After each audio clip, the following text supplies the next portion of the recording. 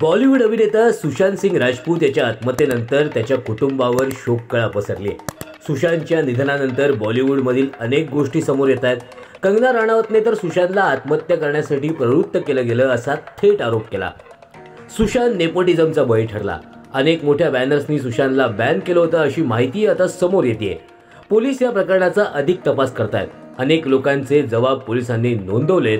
यात सुशांतची गर्लफ्रेंड रिया चक्रवर्तीचा देखील गुरुवारी अठरा जूनला सकाळी अकरा वाजता बँड्रा पोलीस स्टेशनमध्ये चौकशी झाली. बँड्रा पोलिसांनी रियाची कसून चौकशी केली. तब्बल दहा तास ही चौकशी चालली. या चौकशी दरम्यान रियाने अनेक धक्कादायक खुलासे केलेत.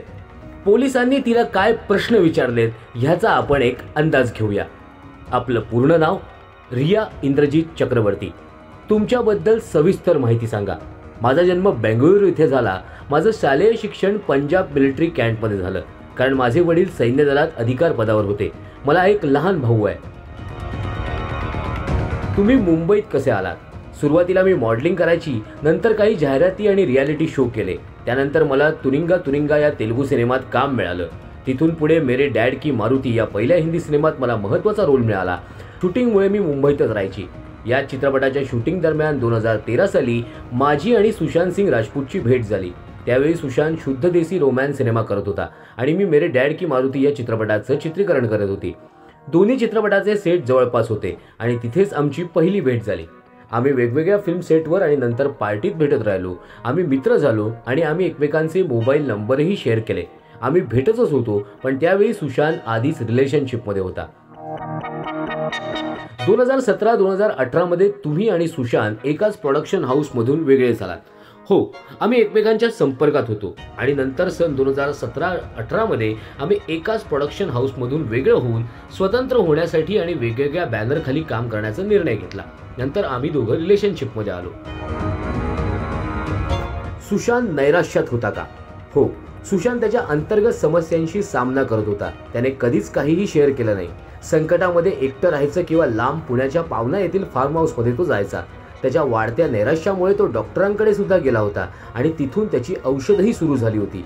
पण त्याने गेल्या काही दिवसांपासून औषध घेणं सोडून दिलं होतं. हल्ली सुशाल माझ्याशीही कमी बोलत होता. तुमचं शेवटची भेट कधी झाली?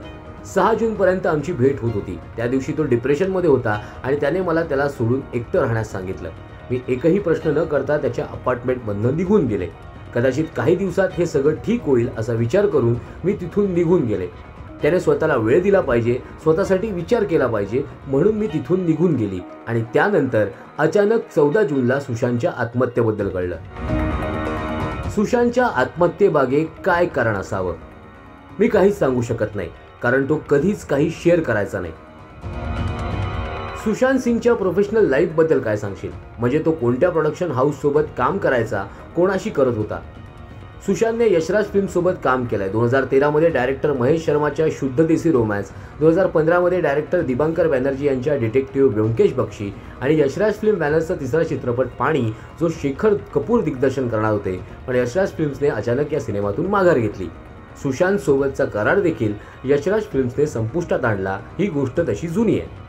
दरम्यान रियाच्या या जबाबानंतर मुंबई पोलिसांनी यशराज फिल्म्सला एक पत्र लिहिलं असून सुशांत सिंग राजपूत याच्यासोबत यशराज फिल्मने केलेल्या कराराची प्रत सुद्धा पोलिसांनी मागवली आहे. रियाच्या या दहा तासाच्या चौकशीनंतर नेमकं आता पोलीस पुढचा तपास कसा करतायत हे बघणं उत्सुकतेचं ठरणार आहे.